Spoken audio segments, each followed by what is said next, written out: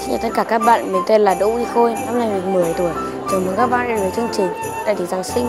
Các bạn thân mến, Giáng sinh sắp đến rồi phải không nào? Giáng sinh hay còn gọi là Noel là ngày Chúa Giêsu chào đời. Và dịp này có rất nhiều điều thú vị như ông già Noel, cây thông Noel, công chúa Tuyết.